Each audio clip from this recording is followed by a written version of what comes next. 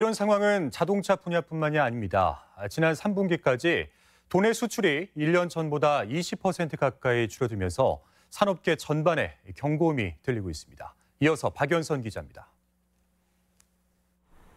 태양광 원재료인 폴리실리콘을 만드는 군산의 OCI. 3분기까지 20%대의 수출 감소가 지속되면서 역대 최악이라는 말이 나오고 있습니다. 국제 가격 하락으로 만들면 만들수록 적자가 늘어나는 상황. 국제적인 태양광 투자가 둔화돼 언제 실적이 개선될지도 의문입니다.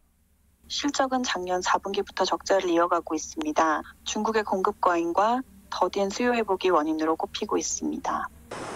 지난해 10% 가깝게 수출이 증가하면서 생산 라인 확대를 고민하던 농기계 업계도 올해는 내리막길을 걷고 있습니다.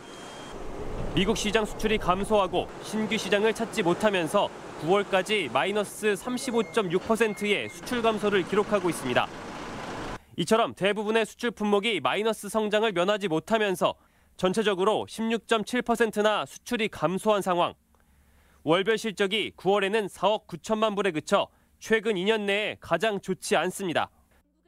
전문가들은 다만 미중 무역 분쟁이 수그러들고 경기가 회복세를 보이고 있어 내년은 좀 나아질 것으로 조심스럽게 전망하고 있습니다.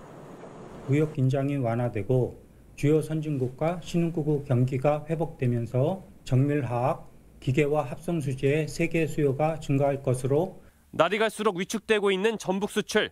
국제 경기 침체의 파고를 빠르게 넘어설 수 있을지 주목됩니다. MBC 뉴스 박연선입니다.